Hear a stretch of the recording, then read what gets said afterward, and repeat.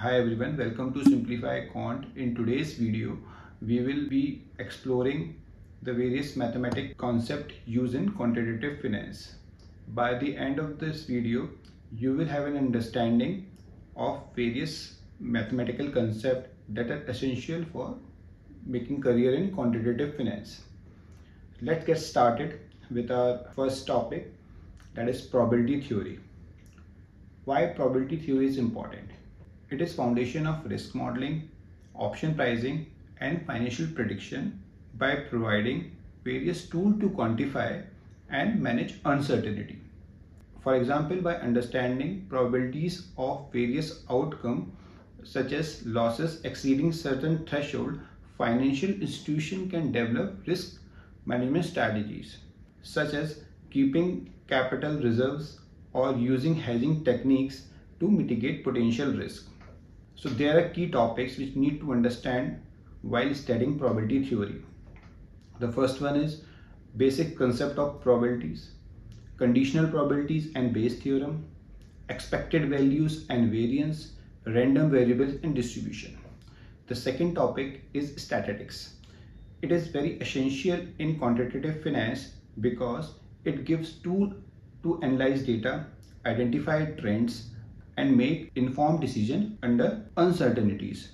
For example, by calculating the average return of stocks or determining the volatility of asset return over period help in assessing the performance and risk of the investment.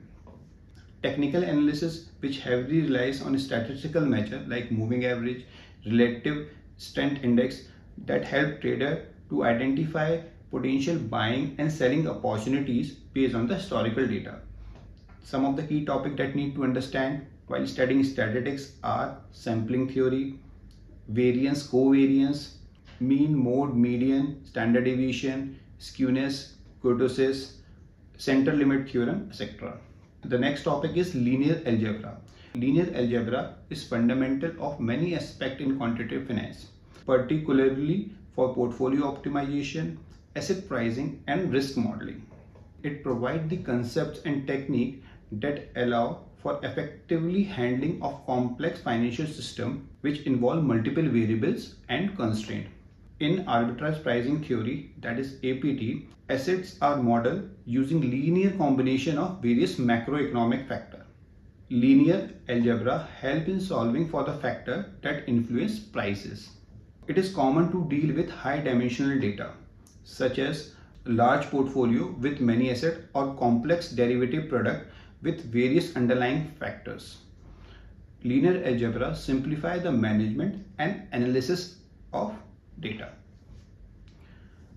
There are certain key topics that need to be studied to understand uh, linear algebra.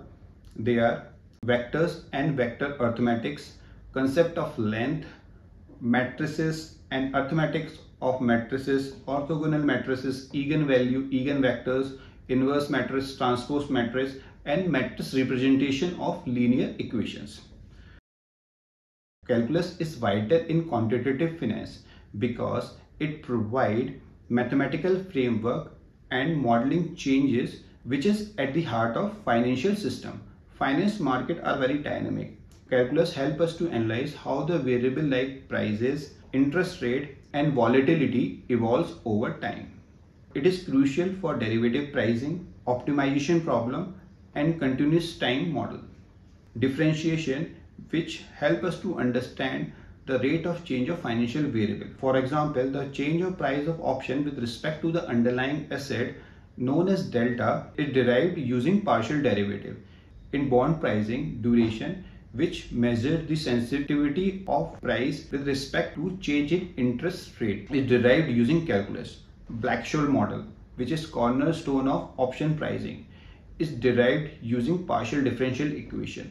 Cal calculus is a very wide topic some of the topics need to be understand while learning quantitative finance are uh, functions, types of function, mapping, uh, differentiation, basic differentiation, higher order differentiation, integral, defined integral, chain rule, multivariate calculus, binomial expansion, Taylor series, etc. Mathematics is core in quantitative finance. If you understand the basics of these concepts, you will find it is easier to learn and apply quantitative finance in effective way. I hope you find this information useful. If you like the content of the video, subscribe the channel, ring the bell icon. In the next video, I will be covering the job available in the field of quantitative finance. See you soon in the next video. Thank you.